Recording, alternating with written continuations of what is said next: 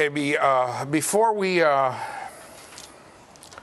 get down to the uh, business at hand, I want to tell you I'm not supposed to do this, not supposed to date it, but this class is being brought is being taped on President's Day. Why are we working on President's Day? And I want you to know there are still a few people around the university and the faculty who think it's okay to be a patriot. I'm wearing my Patriots tie. Maybe you can see the Tunes character with Uncle Sam Hands. Uh, and I'll wear a Patriots again on Wednesday, which will actually be George Washington's real birthday. I'll probably have a tie with a picture of George Washington on it. So uh, it's all right to be proud to be an American, and it's okay to be proud of the good things this country has done. It's really the first experiment in true democracy, and uh, there have been glitches along the way, but uh, I think it's better to pitch in and try to make it better than to try to rip it down. Okay, the second thing I want to say is we have a pearl of wisdom from last week. If you remember, um, Frances, who gave the talk on behaviorism, uh, and I uh, corrected something I had to say. I might add that at the beginning I said she knows the stuff better than I do. So from this, don't worry, I, I figured it out. But first, let me tell you from this, you'll learn something. There's nothing wrong with having students who know something better than you do. Okay? There's nothing wrong with having students correct you, even elementary school students. Right? Uh, and then you should go back and look it up. Um, and this can occur in all kinds of stuff. For instance, I um, there's a book that I saw on uh, multiculturalism and understanding other people's culture, and there was a page and a half in there on Jewish culture. Um, in four paragraphs, there were six mistakes. Okay. Now, I read about some of the other cultures. I don't know, but I got to believe that, that they didn't just pick, say, okay, we're going to take this culture and say everything wrong about them. So you might be teaching some course on multiculturalism. Some kid will say, you know, that's not the way it is. That's my cultural background. Instead of saying, all right, it's in the book and I'm the teacher, you might want to take a look. Even elementary school students say, hey, let's go look it up. So I did that. And I went back and I took a look and I discussed it with someone else. Uh, and and uh, uh, uh Frances uh, and I were both kind of right, okay? What she said is that when you're on an interval schedule, let me see if I can get back, on an interval schedule where you're given a reinforcement every so often, and as long as you do it, you get rewarded, right? That you tend to get erratic work. She was right. Okay? In other words, if the rat's banging on the bar, or if you know, you know, as long as I do enough, if, if I, even if I get watered intermittently, if the animal, if the person figures out a word Skinner wouldn't use, but if the rat's just sitting there and all of a sudden the food falls down, right? Because within that 45 second period, right, the rat hit on the bar enough times, right, then and the rat's figured out, well, as long as I hit some, it'll come out, or a person certainly can figure it out. She's right. What I'm talking about is a schedule that says, and this is the way it usually is okay, you've had enough hits on the bar, the time's up, but now you have to have at least one more hit before I'm going to reward you, right? Like a slot machine that's on time. So the slot machine will say, okay, I'm ready to pay off, but you got to put in the money and pull the lever one more time or hit the button one more time before you're going to be paid off. Do you understand what I'm saying? So, in other words, you have to perform the work in order to be paid off. Okay, and that is almost impossible to tell from a variable ratio. Understand what I'm saying? If in a variable interval, the payoff says, look, I'm going to reward you every so often, provided that you did X amount of work in that time. And let's say it's a, it's a 45 second one. So my next payoff by the drug is going to be after 15, if be after 25 seconds, let's say. Okay, right? The rat hangs around, hits the bar a couple of times, then 25 seconds goes by, and bang, out comes the food. The rat just staring at it. You're not going to get a lot of work. You understand? This, this is on a variable interval, right? On a variable interval. But if I say, look, the, after the 25 seconds, okay, now you're ready to reward. Now you're ready to do it. But the rat's got to hit the bar one more time before I'm going to let it go, which is usually the way it is in real life, right? You got to have the behavior done. then it, you get a lot of steady work. Bang, bang, bang, bang, bang, bang, bang. It's very hard to tell the difference. So I did what you ought to do if you have a disagreement or if you think you're right, you have to go back and look it up. So she was right. If, the, if it's going to come no matter what, then you're not going to get a steady work, steady rate of work with variable interval.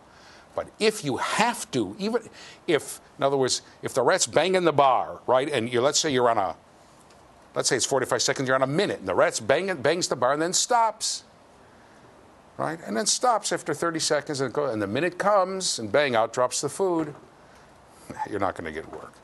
But if I say, look, I don't care. Five minutes goes by. Until that rat hits that bar one more time, the food's not coming, then you're going to get a steady rate of work. Okay?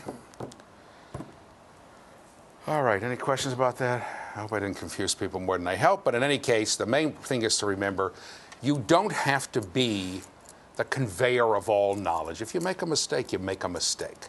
Now, I admit that's in line with my idea of the teacher doesn't have to be the wellspring of all knowledge. And learning theory pretty much feels that's true. I decide what you're going to learn, how you're going to do it. But if you make a mistake, you make a mistake. Admit it. Okay? I'll tell you, I had one thing. I just got to tell you this story. Uh, right? Did I tell the story about why was Rochester founded? I don't know if I told you that, right? I told you that, and, and the teacher said, why did, and I said to, why did Rochester, Nathaniel Rochester found Rochester when there were other towns around there? And he said, I don't know, I'll ask him. When I see him, I think I told this story, right? That's not how a good teacher acts. Because you said, you know, that's a good question.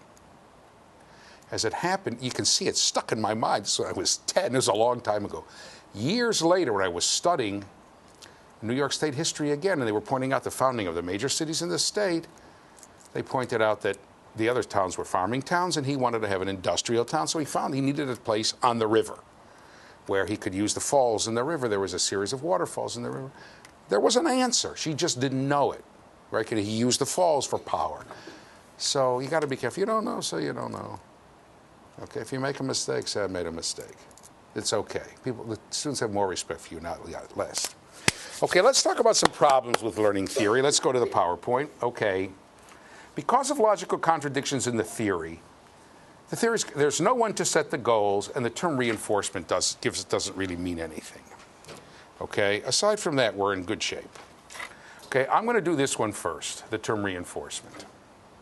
Okay, let's take a vote first. How many people here, and you do it in your own, in your own, uh, in your own hearts, those of you watching on tape, have heard the term reinforcement, and you pretty much are familiar with what it is. Okay, well, tell me what it is, because I can't figure it out to save the life of me. Let's say I have a student. Push it down. Jennifer. Jennifer. Okay, we'll make it easy. Jennifer. Here, Jennifer, wave to the crowd. There she is here. Okay. Jennifer doesn't sit in her seat very much. I don't even have to shape. She's in her seat about a fifth of the time I want her in there. So somebody says to me, You want her in her seat? What you do when she does sit in her seat, provide a reinforcement. That sounds, so far, I'm feeling pretty good. But what's the reinforcement? You've got to tell me what's a reinforcement. You all said you knew what it was. Somebody tell me. Okay, Jennifer's going to tell me, right? Isn't it um, either rewarding or providing a reward or a consequence to? Well, it's not a consequence. Or, it's got to be something that'll increase the behavior, right? Mm-hmm. So it's providing a reward that'll. Go ahead. Go ahead. That will increase the behavior to. Okay, that's good. So it's something that'll increase the behavior. That's what I asked. So what is it? How do I know what it is for Jennifer? Go ahead. It depends on each child what they value enough to increase the behavior. It depends on each child. So now remember, I'm convinced that, that Jennifer's behavior, behavior can be changed. That's why I'm asking the question what will it change it? So you're telling me it depends on each child. So, okay, good. So, how do I know it'll do it for Jennifer? What? Go ahead. Trial and error. Trial and error. Go ahead, go ahead. You can ask her parents. Sarah, Parent- right? Huh? Rosanna. Rosanna. See, I knew it. Got it right. Go ahead, Rosanna. You can ask the parents. The parents normally know what, what works as far as taking away or given to the kid. You can ask the parents. So if I ask the parents, is that bound to work? Go ahead. Go ahead, say it. It's not bound to work. Better success rate, so chance. Huh. I'm going to call you Sarah for the rest of the year. I know it now. This is semester. Okay. So, uh, yeah, I'm confused here. I mean, I mean, you know, go ahead. That can be different because some, the children sometimes act differently at school than they do with their parents. Kids act differently with teachers than they do with parents. Let me ask Rosanna a question. If I ask the parents and I get a reinforcement and it works and I get Rosanna to sit in her seat more, next thing I want Rosanna to do is pick up her pen and write. Can I be guaranteed that that reinforcement will work for that? I got to say something. No. No. I'm getting. I'm, I'm starting to get so confused. I don't know what's going on here. Getting a headache. Go ahead. Well, it's kind of more of a comment for the previous, but it kind of falls on the teacher to get to know their children. You can't rely always on what the parents say. Get to know the children. Okay. Go ahead. Well, sometimes it's kind of like the children has the parent trained, so the children Right. know what works and what doesn't work for the parent, and not necessarily the Not same necessarily case. for the kid. Well, so, so to get to know the kids. So in other words, what you're telling me is I should guess. I should figure, well, she likes to play basketball, so if she sits in her seat, I let her go outside and play basketball. Or she likes candy, so she sits. Is that what you're telling me? Sort of guess. I'm going to guess based on my observations, and it. Let's try this. Is there something that's always a reinforcement? Wait a second. Praise is always a reinforcement. So you're guaranteeing me if I praise someone, I can get that person to do whatever I want the person to do. Anybody, anybody is there anybody here who gets uncomfortable with praise? Got one person. Anybody here who, a couple people, who say that person's praising me because, say that he, he, he's trying to brown nose me? and it turns me off. Anybody ever think that? So sometimes praise can be a punishment, right? I'm not going to do that. You're trying to butter me up. Okay. Is there is there something that's never a reinforcement? Flogging. Flogging? Man, you, you haven't been downtown lately, looking in the bookstores. But, but um, aren't there some kids? Haven't you been told sometimes that doing very negative things to kids actually reinforces them because it's the only way they can get attention? So there's nothing that's always a reinforcement, but everything is a potential reinforcement, right? Is that right? So how do I know? What if I make a guess? Tell, tell me your name. Becky? Say it again. Becky. Becky. Okay, Becky. Let's say I um, I give it a shot here with with uh, what was the first behavior? With a sitting down behavior for Jennifer, right? And it works. Okay, I've looked at her. I see she really likes Skittles. Anybody here hates Skittles?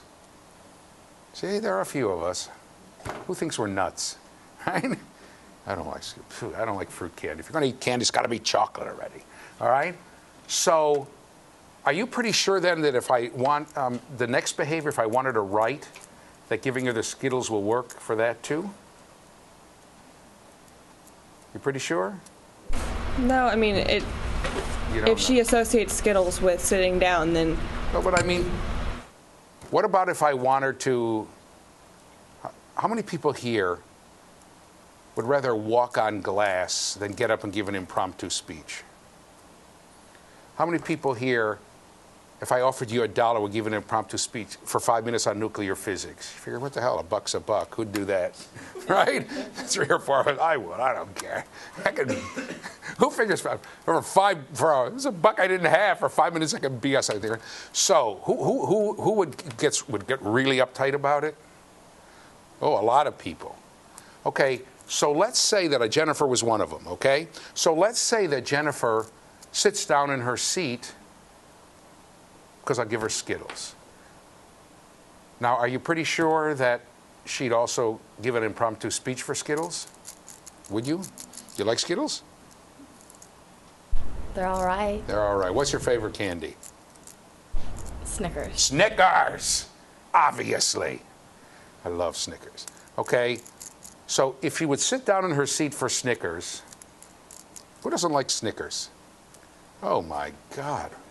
I can't believe it. Who loves Snickers? Right? Most people. You see, I- I'm asking this question not because I'm being silly, but because when we get to Bandura, you're going to see that this is a real problem. Okay? So are you pretty sure that then she'd get, get up and give an impromptu speech for Snickers? I get her to sit in her seat, or I give her a little mini Snickers bar.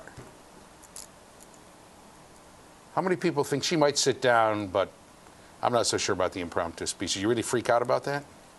Yeah, she said, yeah, she's going like this. She, she's got a look on her face like she wants to throw up, right? All right. Go ahead. Maybe if you gave her a king size Snickers for the impromptu speech, she'd do it it. might. That's right. The size of the reward makes a difference. Remember that we said that last time. Maybe, though. You hear the word maybe. So here's what you're telling me. How many people think it's really a matter of trial and error? Trial and error. So here's what you're telling me. Look, what trial and error is, is a fancy way of saying, I don't know. I don't know. Anything could reinforce her. On the other hand, you know, it could be. You try something, it might not reinforce her. And if it does, it might not reinforce for the next behavior. So what you're telling me is in order to get Jennifer to behave to behave the way you want, to get her to sit down, try something. If it doesn't work, try something else. Work, try- or say, and uh, I- I saying, bumble around until something works. If it doesn't work, it's not a reinforcement. Try something else. If it doesn't work, no. And when it works, call it a reinforcement. This is what? Who knows what this is? Let's go. Oops, whoops, whoops. Let's go back. Oh my God. Right, wait a second. I got a message here that's telling me to do something. Okay. Let's go back to the PowerPoint. Look, let's try this. In order to get a behavior to increase, provide a reinforcement whenever the behavior occurs. That's what you all told me, right? Now, reinforcement is an environmental stimulus that increases a behavior. Okay? That's the definition. So let me substitute this definition right in here for the word reinforcement, okay? See what I'm going to do? I'm going to write this sentence again, but instead of using the word reinforcement, I'm going to substitute the definition of reinforcement. That ought to work, okay? And I'm going to even do it this in blue, and I'm going to keep this in black, okay? In order to get a behavior to increase, provide an environmental stimulus that increases a behavior when other behavior occurs. It Tells me a lot. To get a behavior to increase, give a behavior increaser. Come back to me. Okay, what's a behavior increaser? I, I don't know. Could be this, could be that, could be the other thing. Trial and error. Try until you uh, figure it out. Okay, what is this? Let's go back to the PowerPoint. This is a what? Circular, thank you very much. This is a classical circular explanation. And it, does, and it gives us no information as to how to get a behavior to, to change. That's what trial and error means. It means I have no idea. Try something. If it works, try something else. Okay? Now, interestingly enough, come back to me for a second. There were several of you who gave the recommendations that behaviorists give, which is to say, well, take a look, try to see, ask the parents, get to know the kid. Okay? And this was formalized in something called the Premack principle. Okay, let's go back to the PowerPoint. The word Premack means it's the name of the person who figured it out. Okay? Somebody named Premack did it. Okay? And this is again an unsuccessful attempt to overcome the circularity problem. Here's what Premack said A behavior that naturally occurs frequently has a high probability of reinforcing behavior that naturally occurs less frequently. Now I'll say it in English for you, okay? Here's the translation, okay? Using something a pupil likes, this is a word that Skinner would never use. That's why you have to do it this way, that behaviors. would. To, the, using something the kid likes to do is over something the kid doesn't like to do, okay? Eh, that has a high probability of working. Okay? So, for instance, if I, I see that all things being equal, come back to me for a second. All things being equal, Jennifer, if I just leave her alone, right, if I just leave her alone, will pick up paper and pencil and start to draw, I'll tell her, you know, I'll use drawing time for her sitting in, in her in her seat. Or if I see all things being equal, Jennifer will run over and start to, you know, go into her bag and take out Snickers bars. So I'll use, because she likes to eat Snickers, I'll use Snickers bars as a reinforcement. And back to the PowerPoint, sorry for jumping around so much. Like every other proposed reinforcement, sometimes it works and sometimes it doesn't.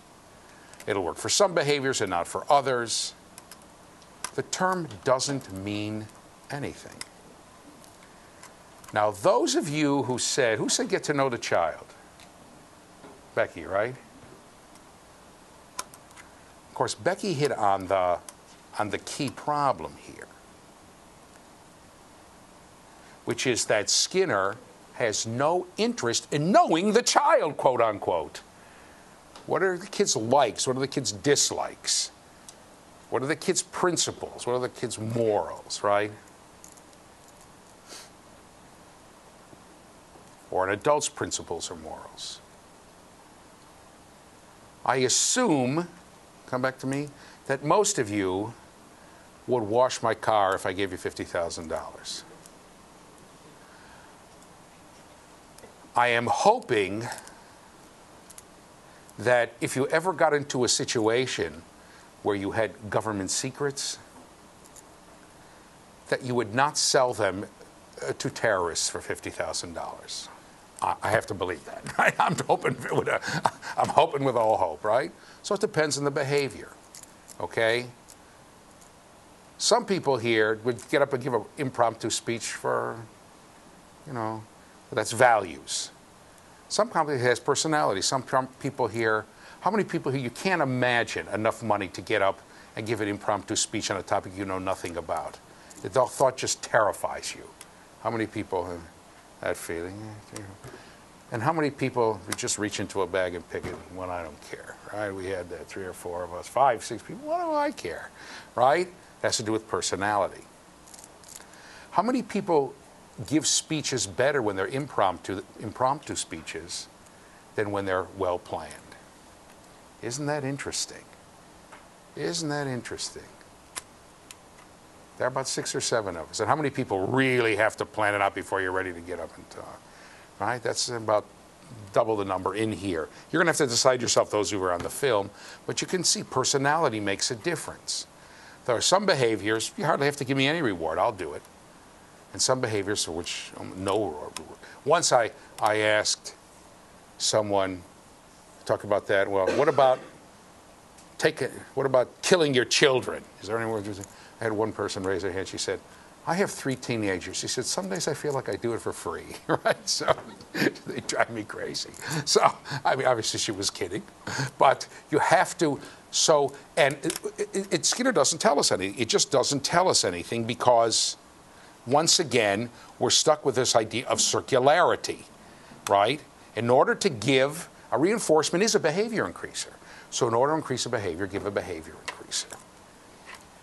And the idea of we'll get to know the person's values and personalities and likes, etc., he doesn't want to hear from that. We're going to hear that soon from, from Bandura. Okay. The other problem is this is a little more esoteric. Let's go back to the PowerPoint. If we stick to the logic of the theory, there's no one to set the goals. This is a little fancier, but it makes a difference from the point of view of interaction between teacher and student. Okay.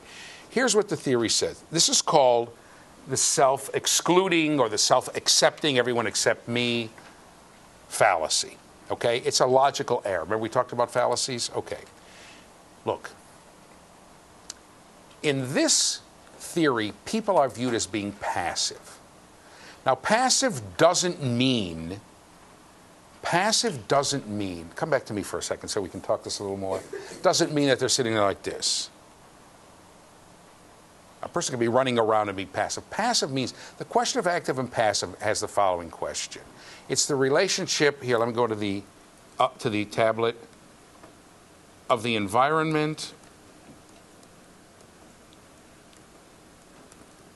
environment the relationship I'm going to write fast because I can do that faster of the environment and the person.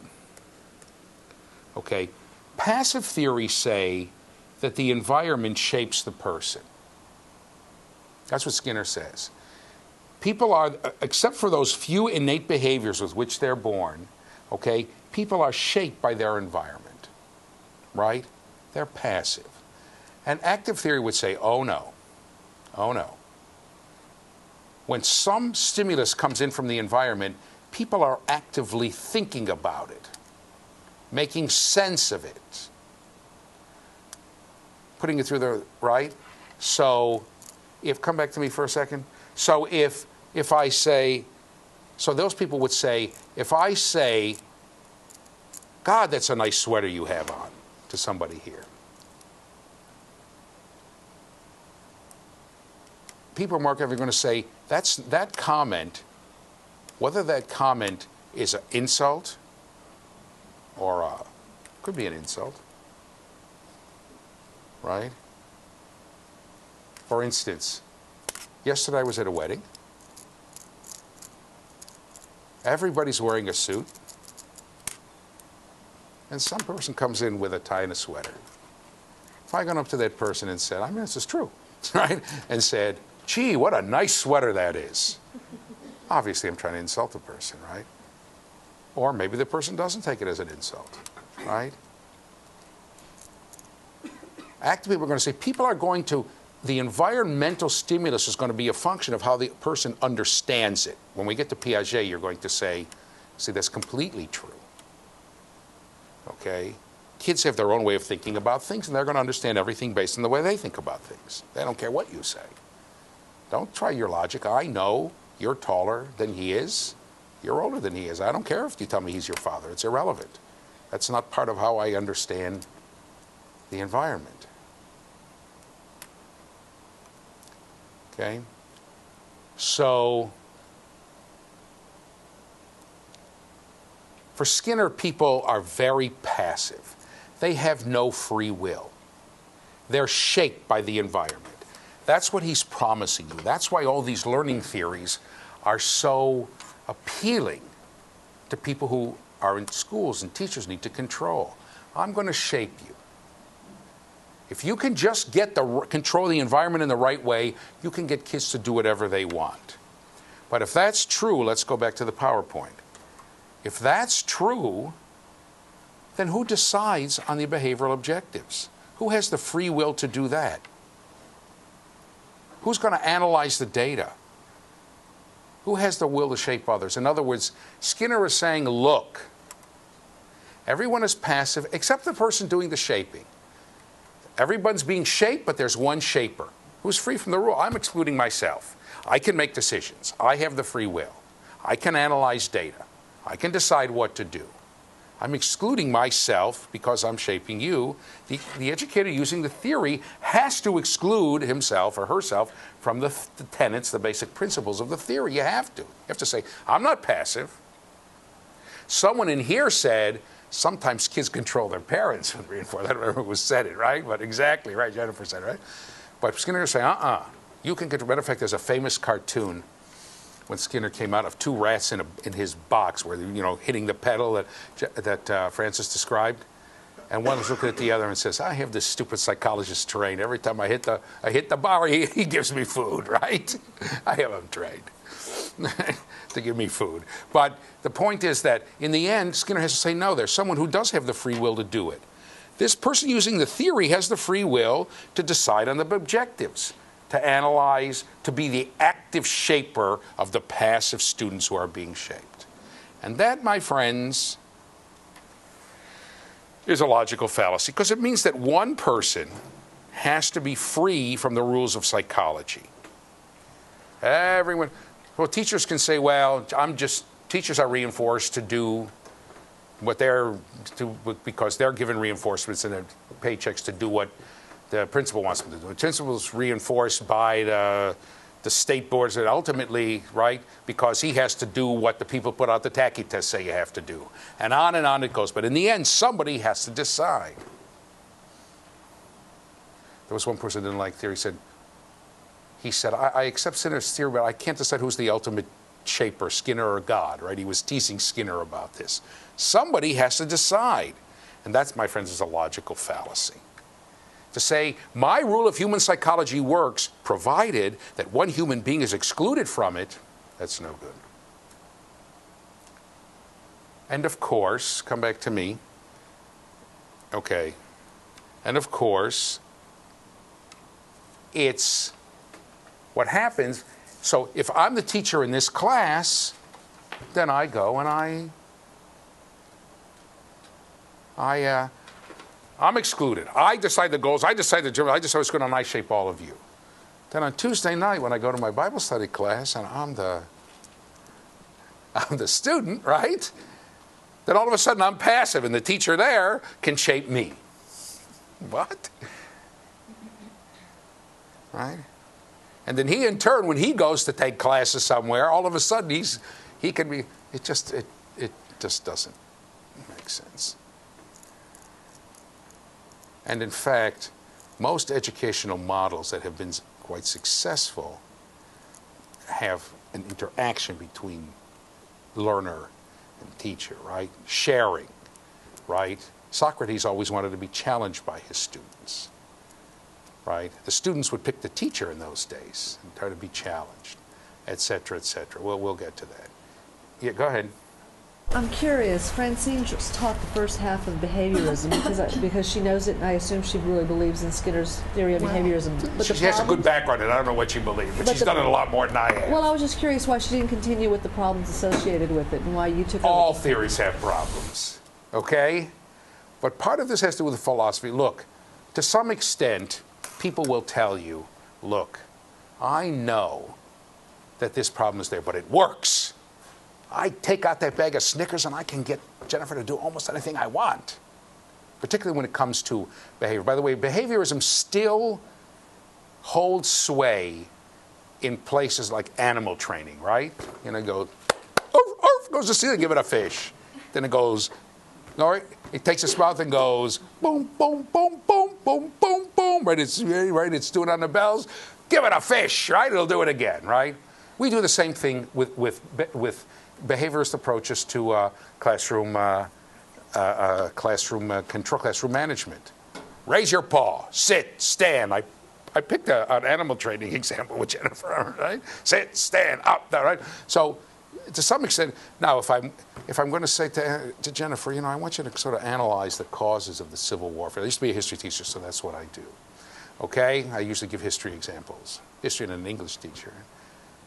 Well, then you have to say, hmm, I wonder. But for that, it seems the, the problem is if I ask, why is it that praise is so effective with. Tell me name again? David, right? Daniel. That's my brother's name. Why can't I remember that? Okay, is so effective with Daniel. And Jennifer just. It doesn't work very well. Snickers are okay. And if I try to give material things to Daniel, you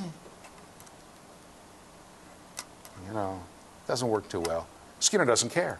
So, so shut up. Use praise with Daniel and Snickers with, with. But in the end, trying to understand what me. And the problem is when it doesn't work, it doesn't work. Now, of course, it always works. Because if I start giving Snickers to Daniel, he doesn't do, the behavior doesn't increase. I said, oh, it's not a reinforcement for him. See what I'm saying? That's because it's circular. But it's a good question. I mean, I, this, this theory has pretty much been, pretty much been, uh, you know, deserted except for these kind of primitive. And you can see it used with autistic kids too, right? Because you want these very kids who have severe autism, these simple behaviors. And once you find the reinforcement, you can go for it. But association, but I don't think it's much of a look. Here's one other problem with it. I can have someone list list six causes of the Civil War, six hypothesized causes of the Civil War. And a person can put down slavery, economic differences, right? But if you're a good teacher, you say in your guts, I ought to be able to go to the kid, to the kid and say, well, can you explain how slavery caused the war? What happened with slavery? If the kid says, not really, it just listed it, you didn't really, can you explain the interaction of slavery and the economic differences, what's going on here? And if people can't do that, you, you know, you start to feel pretty upset. How do you account for the fact that Robert E. Lee was opposed to slavery? That Judah Benjamin, the Secretary of State of the Confederacy, said, let's free the slaves on the condition that they'll fight in the Confederate Army. Right? I don't know if you knew that. Because that's the only way to preserve the Confederacy. Well, so maybe slavery was only part of it. And then I think it was Sherman, don't quote me on this, who was very, very anti, uh, anti-black. He was right. There were a lot of people in the North who had, didn't have, right, were very anti-black and very, you know, they were did something else. Well, so maybe there was something else. How does that all come together? How does that all interact? Right? What about the abolitionists? And what about Lincoln? What about this? And what about that? These are all difficult questions, and that's the kind of stuff I would rather than listening. And people can disagree with each other. There are people who think that slavery was a key factor in the Civil War. There are some people who think that slavery was a secondary factor. Okay? So that's the, and that's the kind of thing you don't get when you're going for given answers. Right? you don't get too much creativity. Right? Creativity, as a matter of fact, is bad. It's off your path toward your goal. Right? So if your goal is to teach the kid how to use a scale, and there's some kid who says, I'm going to take this apart and see how this thing works, right? That's no good, right? Even if you know the kid is good at taking it apart and putting it back, things taking it apart and putting them back together, right? You know, if it's a balance scale, let's say. So th- these are some problems with this, but obviously this theory has a lot of appeal if you say this is what you have to do answer these questions on the Pecky test so all right so let's go back to the powerpoint here here you can see it slide doesn't make sense so but i let's let's do some of these questions here some of these questions are not going to be good with all the theories okay obviously, according to Skinner, what should educators be trying to achieve? Okay, obviously, the educational goals need to be behavioral objectives, okay? And he wants to use reinforcement and extinction, and if brutally, if, if necessary, punishment. For instance, as I, I, explained last time, punishment is not considered to be very effective. But if you have kids, for instance, who have severe problems, like kids who are constantly banging their head into the floor, into the wall, well, I thought then you can say, look, I, I think I said that last time. Let's punish the behavior. I mean, you know, it's got to stop it. Whatever is in its place is better than this. The kid, you know, can can really hurt himself or herself. Okay, and the purpose of schools obviously is to change and shape behaviors. You have identifiable behaviors, and achievement is defined as a desired change in behavior. Okay. And all learning is the responsibility of the teacher. If a kid doesn't learn, it's the teacher's fault, 100%. This is one of the, one of the problems that a lot of people have pointed to. It's your fault. You either didn't set the right behavioral objective or you didn't provide the proper reinforcement. And of course, you can see that you have to set set the right objective for each individual student. You guys out there too on the camera, right? For each individual student. So to say, oh, I'm going to have the same objectives for everyone, they're all going to take the same Tannerite test on the same day is horrifying to Skinner. Horrifying. It'll be horrifying to every theory that we run into, right? Into which we run? Anyway, okay? You have to, so he, it's, Okay? But all the burden of learning, because the learner is completely passive, is on the is on the uh, uh, on the teacher. And the factors that cause to a lack of achievement, possibly causing a kid to be labeled, is that the teacher didn't set the right objectives. Don't start blaming the kids. Don't start blaming the kids. If a kid's not learning, do something else. And you must immediately stop doing something that the kid is not performing. If you, if you set up a behavior and the kid can't do it, stop doing it. Break it down into smaller parts. Do something else first. Stop doing it. Endless skills drills of things that kids can't understand, he thinks are a waste of time. So does everyone else. If the kid can't do it, stop doing it. What are you doing it for? Okay? So, as I said, it's the fault of the educational system of the teacher. Of course, he assumed a teacher who was who was free from bureaucratic regulations. Okay, I got it. Before I talk about the contributions of the theory, come back to me. I got to say one other thing. Um, Frances said something that uh, really yanks the chain of people who are not learning theorists, and that's Skinner said, "I'm the most scientific. I'm the most scientific." I just talk about what I can see and I don't assume anything else, nothing in your head. First of all, I make no assumptions. First of all, that's obviously not true. He does make assumptions about passivity of people and. But more than that, that's not the most scientific, right? We talked about gravity as a theory. If Newton were a, a behaviorist, he'd say, balls fall, planets go through the sky, rivers run downhill, I'm finished. That's all I can observe. Something hypothetical, theoretical? Like gravity that you can't see and touch? Some hypothetical explanation? Whose name is Sarah? Somebody's here's name is Sarah. Nobody. It's mental illness. Okay, let's take someone else. Who was the person who was depressed? Wasn't that you? Tell me your name anyway. We're going to be depressed now. Alexis. Say it again. Alexis. Alexis, Alexis, raise your hand. Wave to the crowd. There she is. Okay. If I see Alexis, and Alexis, we think we talked about this, right? In bed 18 hours a day, sighing and moaning, life is hopeless. I don't know. Right? Most of us would say Alexis is depressed. Depressed? Show me you're depressed. I can't see you depressed. I can't measure depressed. Just report the symptoms. So Skinner, by saying he doesn't want a theory, he doesn't want overarching understanding of things, right? Is really the less scientific than others. By the way, if Alexis reports backaches, right, which is a common symptom, not complete, but a lot of people with um, depression will report, backaches, right? And they, there doesn't seem to be. If I'm the doctor and I hear oh, this wedding I went to yesterday was two doctors getting married, the place was loaded with doctors. I couldn't believe it, right? So, but if I'm the doctor and I hear this, I'm going to move to the front of my diagnosis and treatment the thought that this is a psychosomatic symptom, quote unquote. Sure, I, if I'm a good doctor, I'll check her back anyway. Might be that she's depressed because she has constant back pains, but I'm going to check. And if I can't, find- if not,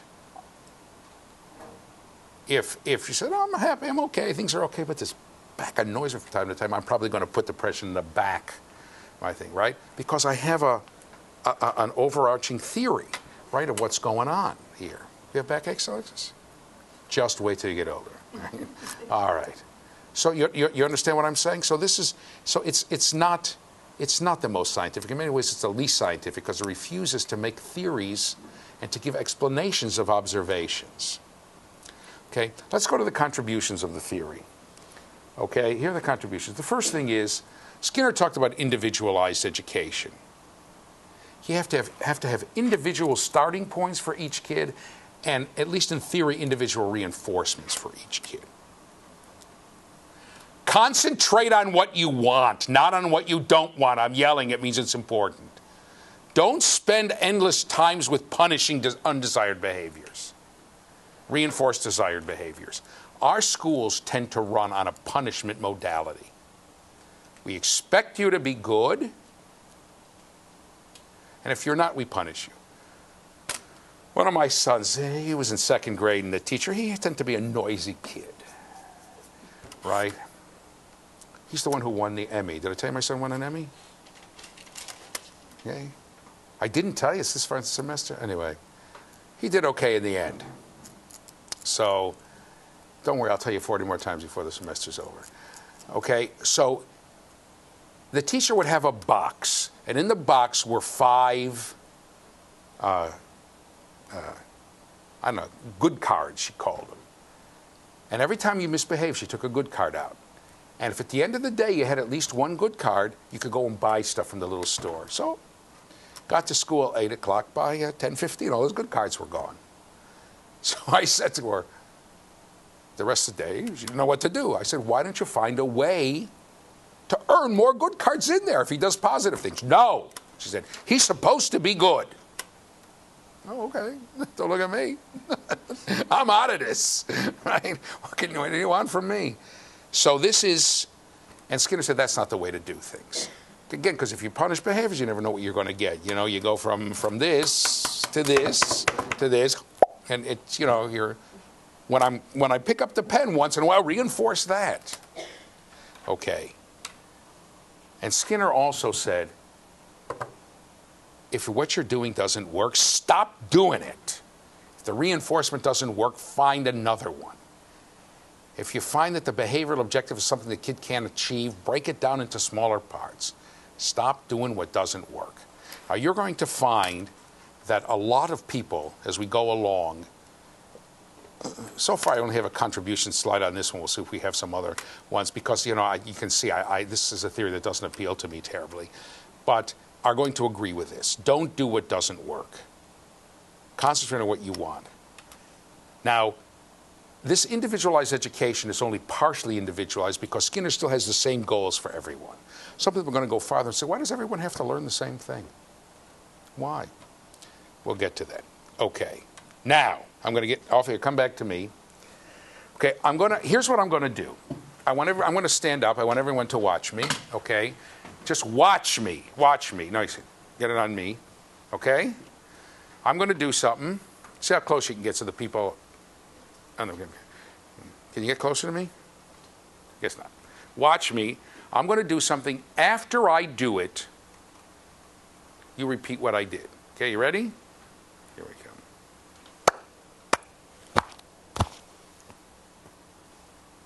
Once more. Go ahead.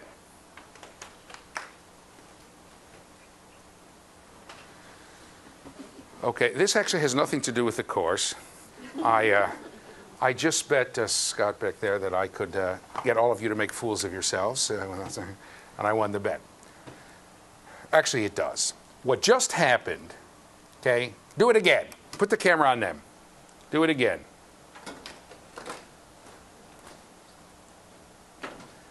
Okay, very good. what just happened, come back to me, Skinner has a very difficult time explaining. A very difficult time explaining. I'm having a very difficult time finding the next, right? Why does he have a difficult time explaining it? Because Skinner would say nobody received any direct reinforcement. Also, it's a pretty complex behavior. Skinner would say you're going to have to do some kind of a, you're going to have to do some kind of a, uh, uh, nobody's going to do that naturally, right? So you're going to have to do some sort of shaping process. First, reinforce a person for going like this, then for going like this, then like this, then like this, then like this, then like this, right? Build up a chain, right? Who has never played golf in your life? Never played golf? Come over here.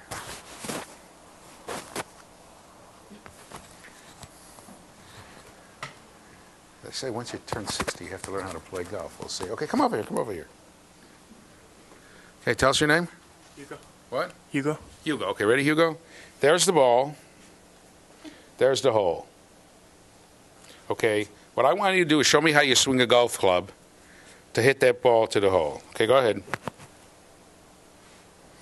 Who plays golf? On a scale of 1 to 10, how was the swing? Where's you done? That sucked, man. Well, I didn't hear, what did he say? That sucked, man. Yeah. Minus 7, right? Horrible. But he knew to stand sideways. He knew to put two hands on this, all right, and he knew to go here. You know, right? How'd you know that? I didn't know. How do you, yes, you knew. I had to see, I saw someone on TV or something. I saw someone on TV. Right? That's the kind of thing. Give him a big hand. Very good. Yeah, I'm pretty. I saw someone. That's the kind of. You saw me. That's the kind of thing that Skinner cannot explain well. Okay? And ultimately, someone who started out as a as a, a radical behaviorist like Skinner, Bandura, developed a theory which is called, let's go to the PowerPoint, social learning theory. Okay, that great background's not so hot, but what can I do? Okay, learning by observing others in society. Social learning. That's how all of you learned to do that silly thing.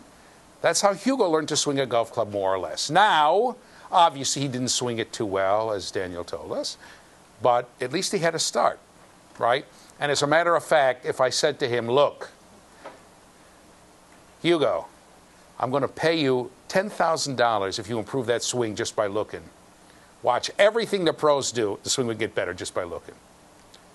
Okay, he would know not to stop here to go over his shoulder. He'd watch that and a few other things, right? If he could, he'd watch how they hook their hands, they hook your fingers together. I never played golf. Either. You don't do that anymore? Hooking the fingers? No. And how to set his feet. His feet were set pretty badly, weren't they? Daniel's going, he's got a look on his face. Okay? Or sometimes it's called, let's go back here, cognitive learning theory. Okay, we'll get to why it is in a minute. Okay? And the person whose theory we're going to talk about, there are a lot of social learning theories. And we're going to talk about the person whose theory we're going to concentrate on is Albert Bandura. He's the last of the giants uh, still alive. I don't know if I should say that. He's an old man, but I'm going to assume he's going to stay alive for a long time. We wish him well.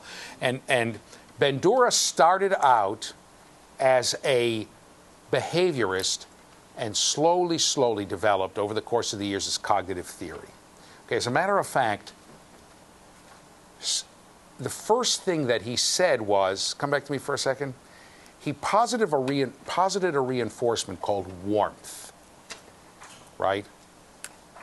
The kid feeling a, a sense of warmth, not heat, but you know, warmth from others. You know, holding, kissing, hugging. And Skinner said, "Warmth? What are you talking about? Warmth is not a behavior, uh, unobservable behavior." Bandura said, ah, everybody knows what behaviors constitute warmth. Skinner said to him, I'm warning you, if you take one step toward, a, toward this, posit something inside, before you know it, you'll be a cognitive theorist about all kinds of things. Ben- Bandura said, eh. But Skinner was right. I mean, Skinner was older than Bandura, right? Skinner was right. Okay? Here's what he says. Let's go back to the PowerPoint. What people think, believe, and feel affects how they behave. So it's not just envir- environmental contingencies that affect how you behave. Your own thoughts, your own beliefs, your own feelings affect how you behave. And the natural extrinsic effects of their actions and their acts and how they behave in turn partly determines their thought patterns and their affective. Affect is a fancy word for emotional, their affective reactions. So uh, let me translate this too. And when you behave in a certain way, and there are consequences to that behavior, right? You do something and it affects other people, okay? Then that changes your thoughts and your patterns. Okay? It changes your thought patterns and your emotions.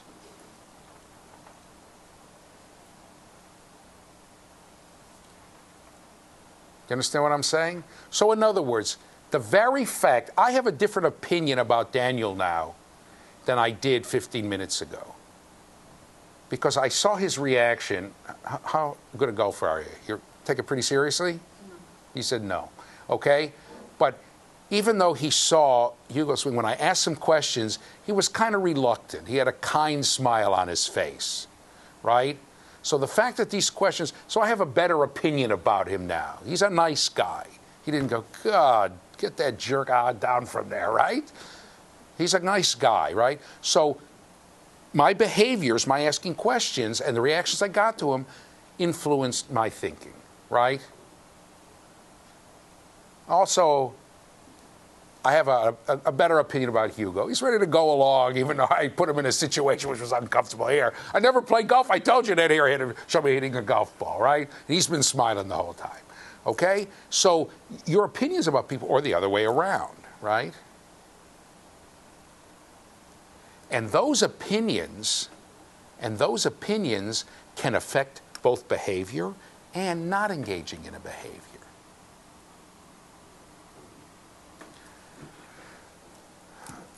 I'll give you an example. Okay?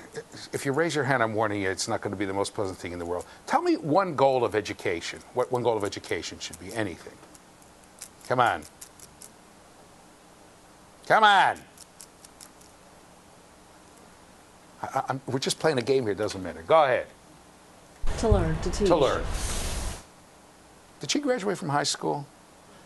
What a stupid answer. Okay? Somebody else give me an answer. Come on, just do it. Raise your hand and do it. Okay, go ahead. Pass a tacky test. Pass the tacky test. Another, another idiot heard from. If I do that two or three times, right? No one's going to raise hands again. I'm going to say, okay, who has a question, right? What's changed is, first of all, this guy's a moron. He's, he's a, he, right? He's a rude, obnoxious human being. Secondly, he's, he's an idiot. Because certainly the first goal is a reasonable one. How can, how can anybody insult someone for saying that person education is to learn? And the second one, obviously, is a realistic goal, right? She was being facetious, being a wise guy. I knew that, right? But still, so you get an opinion of me, right? You get an opinion of me. Things have changed. The guy's, a, the guy's rude. He's obnoxious. He's a jerk. And you have an evaluation of me. He doesn't know what he's talking about. How can anyone in his right mind not thinking that learning is at least one legitimate goal, that that's at least a legitimate opinion about what education should be about? And that affects your, then you fail to behave. Uh, can somebody please tell me something? Just sit there just saying nothing. Well, am I going to put up with this abuse? Who cares what he thinks? Okay, you understand what I'm saying? It's Going to affect you not to behave. Okay, let's go back to the PowerPoint. So, Skinner's is an environmental determinist, right? The environment and the the in, the uh, reinforcements and the punishments in the environment determine the person's behavior. But Bandura is a reciprocal determinist. It's it's reciprocal. Okay? The environment can determine what happens to you, and you in turn can influence the environment. Come back to me, I'll give you an example. As long as we're picking on Hugo, um, let's say uh, Hugo's behavior is to cease and desist from taking showers for the rest of the semester. Okay, this is a silly example, but I guarantee you that the seating pattern in this class will change radically by the end of the semester, right? There'll be nobody on that side of the room where he's sitting, okay? So, I mean, that's a silly example, but you get the idea, okay? What, what, you, what, you, what you do can change the environment, the environment can change you, and there's a constant reciprocity between the two, okay? So let's get some basic principles of social learning theory. I'll, I'll explain this in more detail. Okay, the primary focus is on learning that occurs in a social context, within a social context. Okay, just the way, and and the social context needn't be. You can be by yourself watching TV, right? But social means observing the environment. That's how you go learn the basics of, of, the, of, of the golf club. Standing sideways, swinging it over his shoulder, meeting the ball. I mean, he didn't come up and try to hit the ball this way. He came sideways and tried to hit it that way. Okay? even though he, he may have watched that when he was alone. Okay, it's a social context. Secondly, reinforcement plays a role in learning, but it's not entirely responsible for learning. Other things come in. Cognitive processes play a crucial role in learning. Okay? People can learn through observation. That's one of the keys of the social context. And learning can occur without a change in behavior. Just like you learned not to change your behavior, just to sit and not raise your hand based upon what you observed about me. That I'm obnoxious and stupid. Okay? So, here's what he says Human development reflects an interaction of a thinking, active thinking person, behavior, and the environment. All those things interact together. A person is not solely shaped by the environment, the links are bidirectional. Anyone can influence the other, and here's his famous triangle. This is what Skinner says. This is Skinner, a one way arrow that says the environment influences the behavior. That's what he says. Okay? But in turn, the behavior can influence the environment, right? Oops. You can get, right? A person who acts a certain way in a group can really make changes in how the group functions. Right? Ever been in a group where just one person, you change everything you do in a group to avoid having this person, you know, having an influence anymore, or the other way around. A certain person can be in a group and act in a certain way, and the group gets more cohesive or less cohesive, more, etc. Okay? Likewise,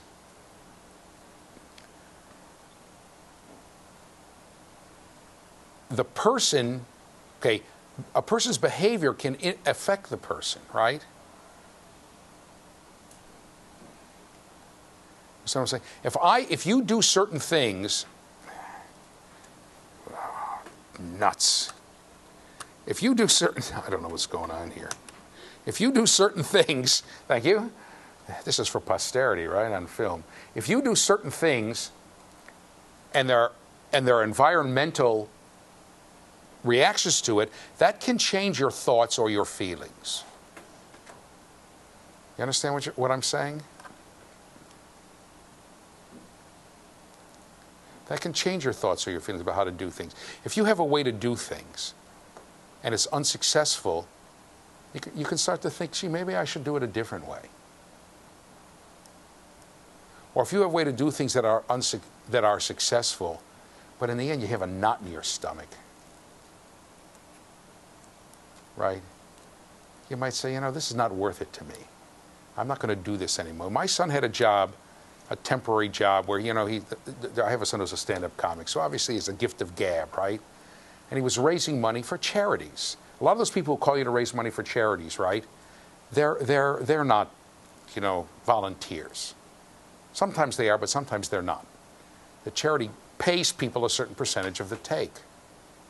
And he came when he was raising money for a charity. I don't remember which one it was, but it was one you could really get into, cancer or heart. And it was a legit charity. He said, he said, I can't do this anymore. He said, people call me, and he won that day. He ran the most money. He said, people call me, but it's obvious they don't have money. And my job is to say, oh, come on, what's five bucks? What's ten bucks? He said, I just can't do it. He said, I called up one lady, said, I'm on Social Security. He said, and, and he said, I'm going through the, you know, the line that they gave us. He said, I hung up and I got sick. He said, she really couldn't afford it. He said, it's a good cause, but I, I can't do that. And it changed his whole, it changed his attitude. He, he never did that again. And he was considering sales, and he said, I'm not, I'm not going to do that. I, I'm not going to do that. I'm telling you. And he went into something else and gives the gift of gab. He became a stand-up comic. But so it changed his attitude. The reactions of the people that he heard changed his attitude. And likewise, the environment can change your attitude about things, right? Certain things that occur in the environment can change your, right, the, the nature of the environment. You can go into a place that can change your attitude about people or about things. I remember I, I knew someone, she graduated from high school early. I was their counselor in a youth group. So she gets out, she's barely turned 17. She goes into um, uh, uh, she was she went to New York City. She I was living in New York City at the time. She goes in this line to register for college, and the line was endlessly long, and bureaucratic stuff. And she's standing there with, and there are people who know how to you know calm the system. You can't take this, eh, you know they know how to, and she was just hopelessly lost. And she went, you know, and just the nature of the environment and the impersonality of the environment. In the end, she said, I don't want to go to college. She dropped out. Years later, she finally went back. Now she has a master's degree and she's a master teacher. So I've stayed in contact with her because of both in this the ed biz. But you, you understand what I'm saying? It's, it's that can change it. Likewise, and perhaps most important, the person attitudes and ideas can drastically affect that person's analysis of another person's behavior, of behaviors, and of the environment. Okay? You understand what I'm saying?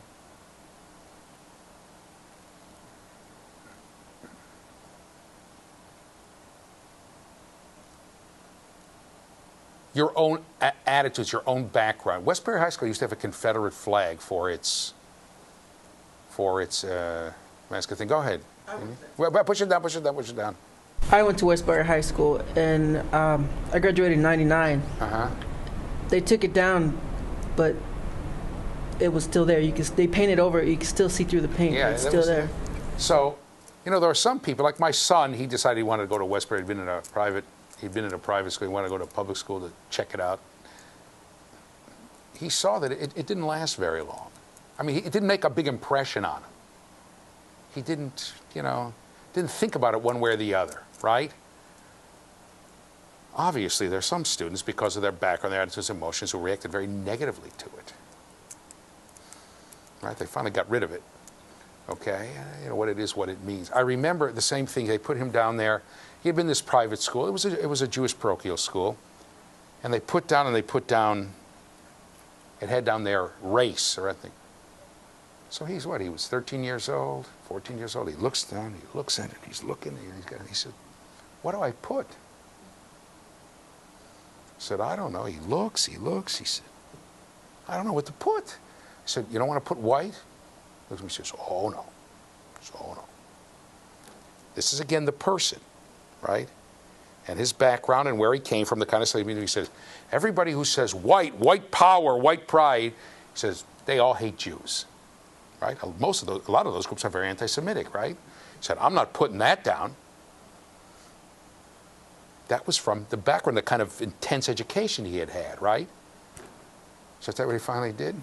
He looks down, he looks down. I got my master's degree in Israel. I was studying in Israel when he was born. So he looks and he said, Wait a minute, he said. I was born in Asia, right? He said, Israel's in Asia, right? I said, Yeah. He said, I was born there, right? He said, Yeah. I said, Yeah. He said, Okay, check the Asian American, right? Off he went. He had no idea, right? So, what did he know, right? So, clearly, your background influences so many people that's just, you know, just check a box. By the way, I will tell you right now, when they ask for race, I put check other and put human. But that's a different question, okay?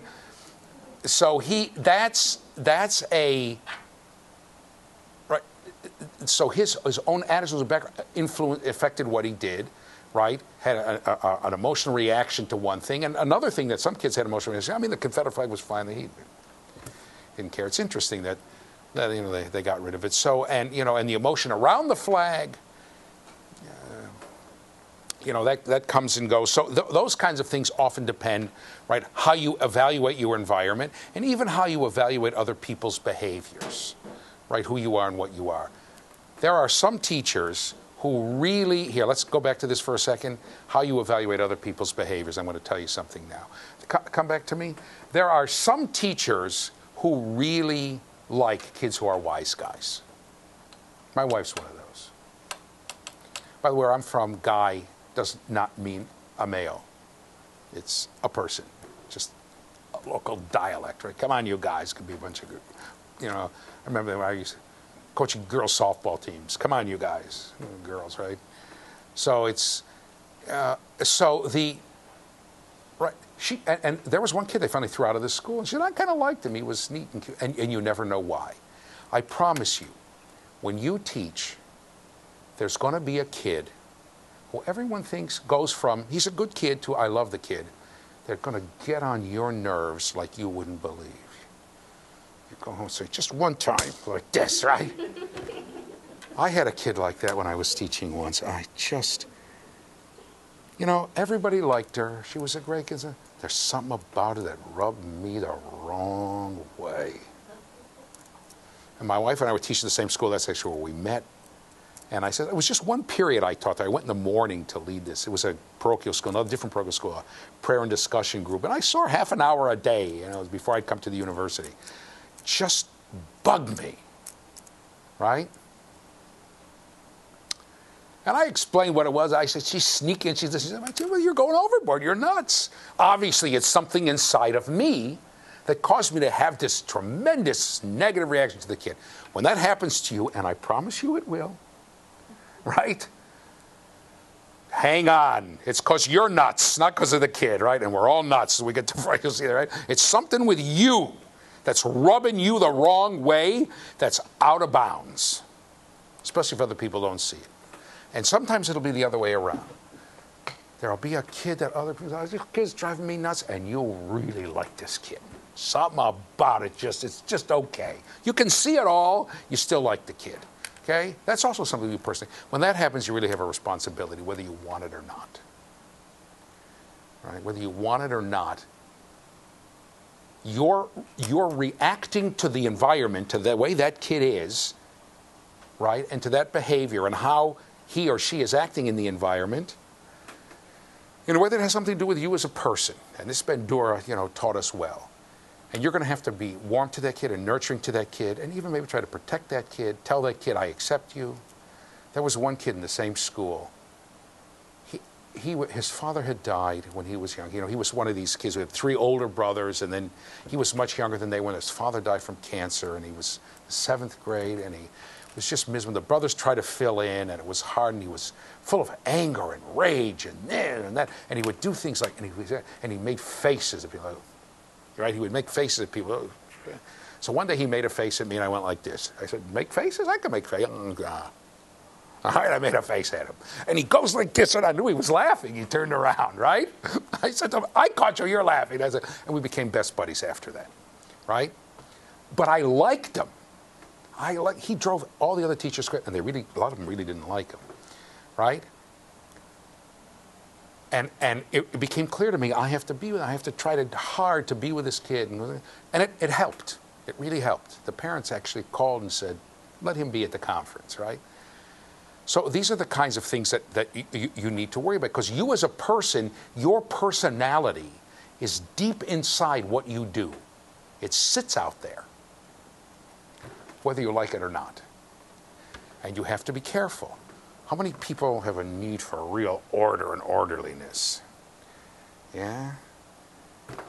How many people are driven crazy, driven crazy by people like that? Okay? You have to be careful right? You have to be careful. If there's a kid who's a good student, and isn't particularly orderly, you have to be careful not to try to impose it. We'll get that more when we get to Freud, but you got to be careful about all these things.